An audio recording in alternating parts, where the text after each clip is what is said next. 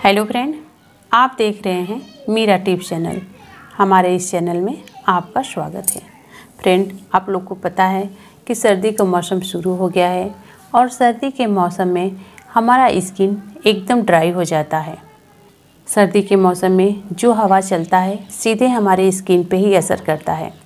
जब सीधे स्किन पर असर करता है तो मानिए कि हमारे चेहरे में जो भी हमारे स्किन में नमी है, वो सारा ख़त्म हो जाता है उसके वजह से हमारा स्किन एकदम ड्राई हो जाता है। हमारा स्किन ठंडी के मौसम में फटना शुरू हो जाता है। एकदम खिंची खिंची से हमारी स्किन हो जाती है।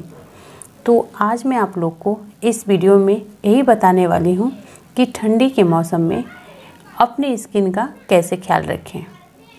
देखिए फ्रेंड बहुत ज़रूरी होता है सर्दी के मौसम में अपने स्किन का देखभाल करना। अगर सर्दी के मौसम में आप अपनी स्किन का देखभाल नहीं करेंगी तो और आपका धीरे धीरे स्किन ड्राई होते जाएगा और आपका चेहरा बहुत अजीब सा दिखने लगेगा। एकदम चेहरा खींची खींची से हो जाएगी और चेहरा एकदम फटना शुरू हो जाएगा।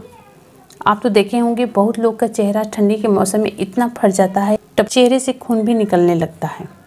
इसलिए सर्दी के मौसम में बहुत ज़रूरी होता है स्किन का देखभाल करना। आज मैं आप लोग को यही बताने वाली हूँ कि सर्दी के मौसम में अपने स्किन का कैसे देखभाल करें। तो देखिए, आपको लेना है एक कटोरी। उस कटोरी में आपको डालना है एक चम्मच शहद और एक चम्मच कच्चा दूध। अच्छे से मिक्स कर लेना है। मिक्स करने के बाद आपको लेना है कॉटन। कॉटन के सहायते से पहले आप अपने स्किन को अच्छे से क्लीन कर लें। ज़्यादातर हमारा चेहरा ही ड्राई हो जाता है या फिर हमारे हाथ पैर।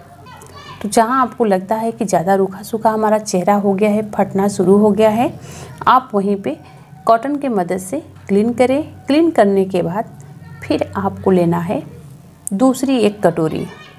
दूसरी कटोरी में आपको डालना है एक चम्मच रोज़ वाटर यानी एक चम्मच गुलाब जल डाल देना है। उसके बाद में आपको डालना है एक चम्मच ग्लिनसीड ग्लिनसीड डालने के बाद आपको डालना है एक चम्मच शहद। आप सबको पता ही है कि शहद में कितने गुड़ हैं। शहद हमारे सेहत के लिए भी फ़ायदेमंद है, हमारे स्किन के लिए भी फ़ायदेमंद है। तो इसलिए आपको डालना है एक चम्मच शहद और अच्छे से मिक्स कर लेना है। मिक्स करने के बाद फिर से आपको लेना है कॉटन।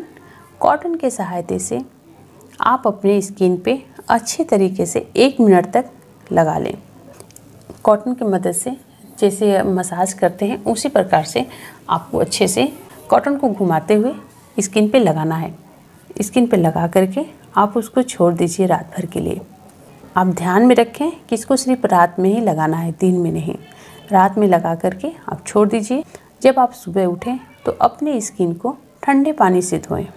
फिर आप लगातार ऐसे करते रहिए और आप देखिएगा कि आपका चेहरा जो ड्राई हो गया था, एकदम सूखे सूखे हो गए थे उसमें नमी आ जाएगी और आपका चेहरा खिला खिला हो जाएगा।